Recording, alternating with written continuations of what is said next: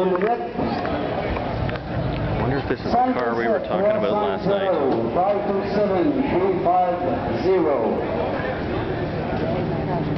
Hmm, maybe not. If it is, it's been redone. 383 turbine Bronze. Special wonderful system. Also, Triangle set, the very left is Holy zero. crumb, that's nice. 527 490.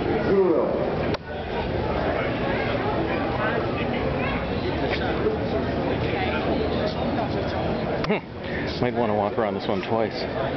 Lance pour mon Pierre, ça va bien. Yow.